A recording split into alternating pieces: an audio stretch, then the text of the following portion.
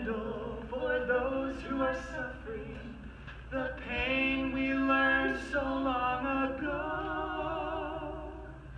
Light one candle for all we believe in. Let anger not tear us apart.